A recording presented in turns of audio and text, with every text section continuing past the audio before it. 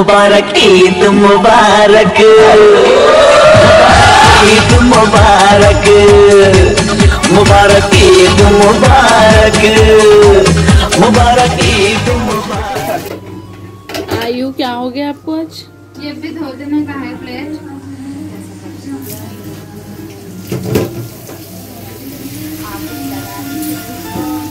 आयु की तबीयत ठीक नहीं है आज।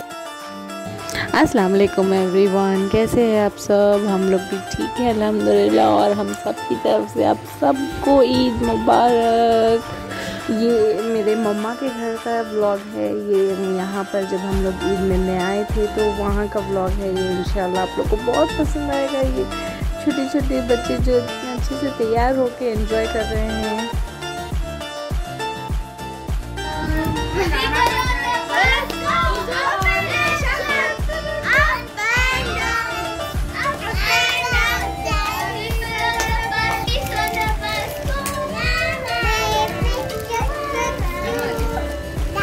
एक्चुअली तो मुझे लेने ही नहीं हुआ ब्लॉग उस दिन क्योंकि हम लोग सब इतने बिज़ी थे और सब लोग इतने टाइम बाद मिल रहे थे तो बहुत एक्साइटमेंट थी एक दूसरे से मिलने की। इतनी सारी बातें हुई तो बिल्कुल भी टाइम नहीं मिला ब्लॉग लेने का, पर फिर भी थोड़े थोड़े से क्लिप्स जो मैं ले ली थी, उसको मैं एक ब्लॉग की तरह एक कंबाइन करके मैं अपलोड कर रही हूँ। और ये देखिए, मेरी मम्मा ने बिरयानी बनाई शीर खोरमा एंड बहुत सारी चीज़ें बनाई थी, बस जो मैं ले सकी बस।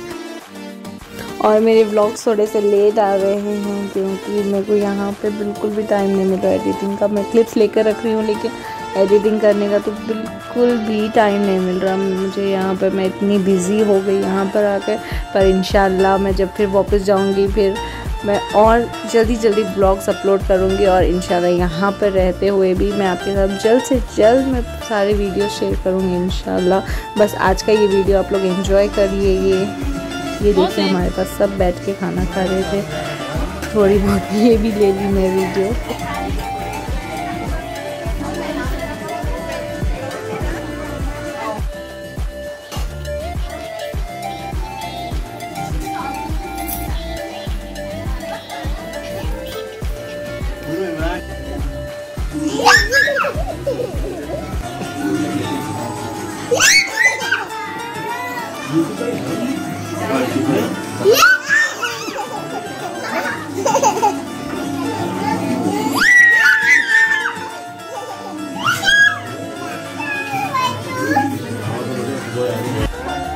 अच्छा जा भाई तो मैं ले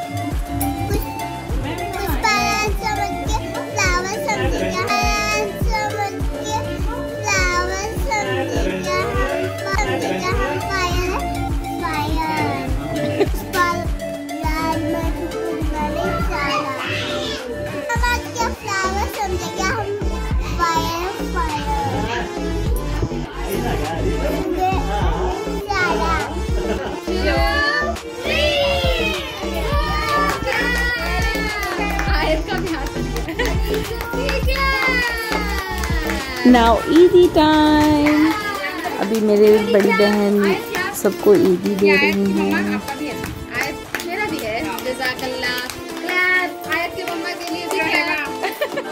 ईद मुबारक।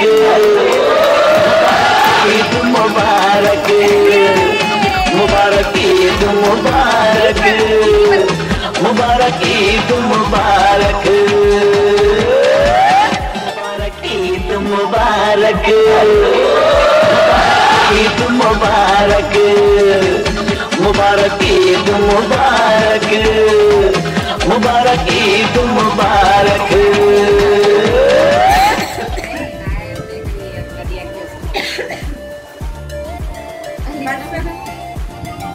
आप लोगों को तो कल मिल गए ना सॉरी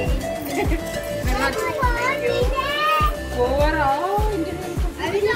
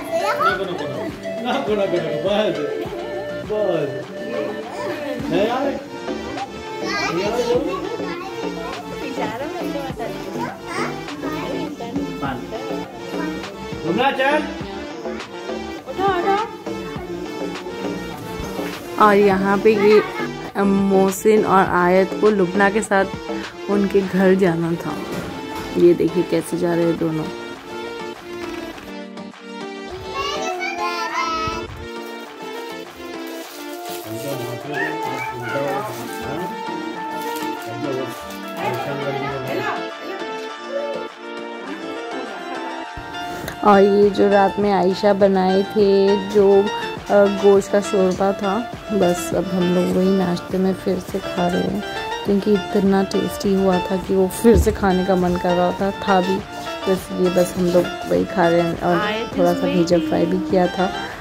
और ये देखिए आयत भूख लग रही थी लेकिन गर्मी गर्म थी रोटी।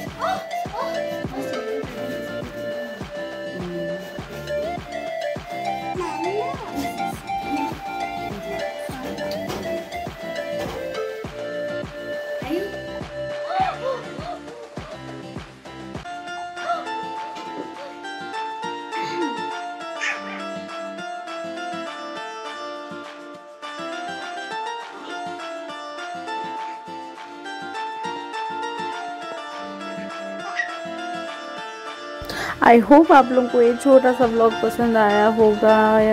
अगर पसंद आया है तो please like share and subscribe और और इंशाल्लाह मिलते हैं एक जल्दी से एक नेक्स्ट व्लॉग में। जब तक के लिए ख्याल रखिए, अपने दुआओं में याद रखिए। अल्लाह हाफिज़।